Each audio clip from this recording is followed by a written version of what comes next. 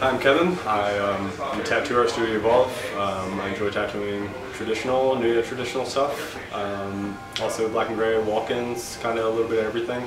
Um, I enjoy drawing and illustrating, uh, making new designs and also tattooing old designs. Uh, thank you.